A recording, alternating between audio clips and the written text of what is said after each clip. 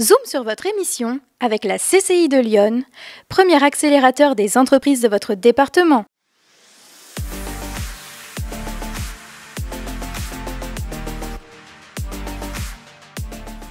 Nous avons été à la ferme des Fromentines à Orgy près de Chevannes. Nous y avons rencontré Cyril Giraud, céréalier et producteur de pâtes, les Fromentines. Installée depuis 2003, la ferme est une histoire de famille. Je transforme une partie de mes céréales sur la ferme directement depuis trois ans maintenant. Donc euh, je transforme ça en farine et surtout en pâte. On a un contexte aujourd'hui agricole qui est quand même très compliqué. Là cette année les prix sont envolés, euh, mais il y a deux ans c'était à ras des pâquerettes. Et on sait très bien que ça va redescendre aussi à un moment donné. Euh, on est tellement soumis en fait aux cours mondiaux qu'aujourd'hui on n'arrive plus à gérer comme avant. avant. on savait il y avait des, règles, voilà, on savait que à telle période de l'année les prix remontaient, à telle autre période les prix redescendaient. Euh, voilà, mais ça se tenait grosso modo euh, toujours et depuis euh, plusieurs années maintenant ça devient de plus en plus compliqué.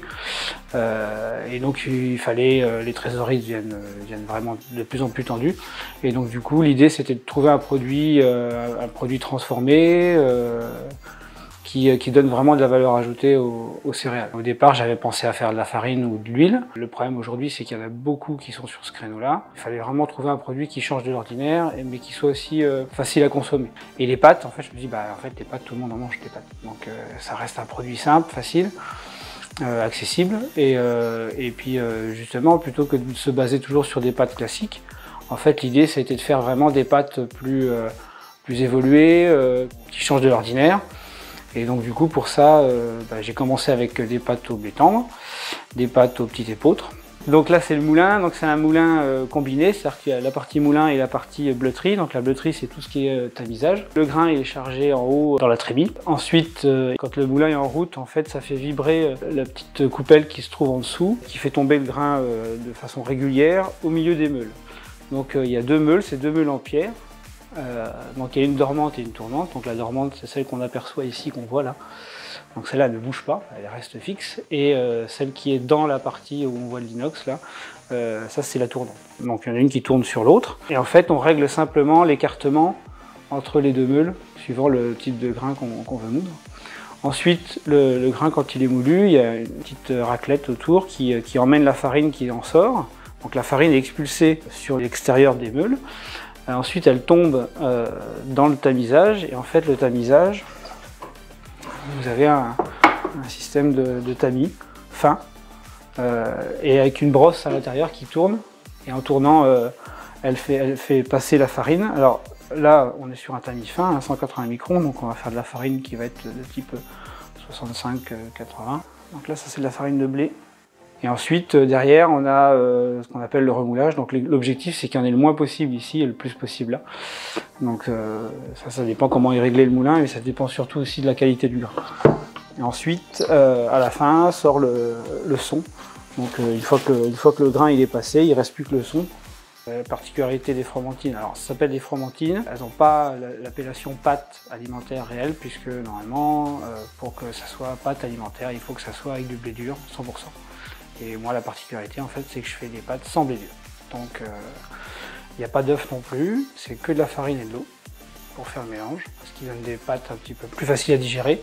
Et surtout, on sent vraiment le goût de la farine et le goût de chaque céréale dans les pâtes. La machine à pâtes, en fait, il y a deux, deux bacs mélangeurs. Il y a un premier, un premier mélangeur, on, on met la farine et l'eau. Euh, alors on met pas beaucoup d'eau en fait, c'est vraiment ça fait une espèce de pâte à crumble en fait. Ça fait une pâte assez sèche. En moyenne on est autour de 20% d'eau par rapport au volume de farine. Et donc ensuite ça bascule, dans un deuxième mélangeur qui fait extrudeuse aussi en même temps. Donc en fait là ça continue de mélanger il y a une grosse vis sans fin qui pousse, c'est une extrudeuse hein, tout simplement, qui pousse dans le moule.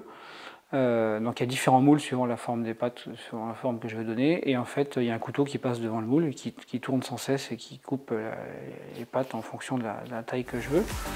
Et en fait, donc du coup, ça, tombe sur des, petites qui sont ventilées pour que les pâtes se collent entre eux. Et ensuite, euh, je les répartis au fur et à mesure sur un chariot dans des grandes clayettes qui font 1m50 de, de et qui sont réparties en fine couche empilé sur un chariot et ensuite tout est mis dans le séchoir. Ensuite euh, ça part en séchage pendant 17 heures. Donc c'est un séchage à basse température, donc ça sèche à 45 degrés maximum pour vraiment préserver toutes les qualités euh, nutritives des pâtes.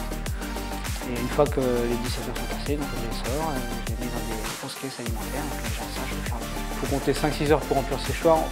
Mets entre 200 et 250 kg de pâtes fraîches dedans.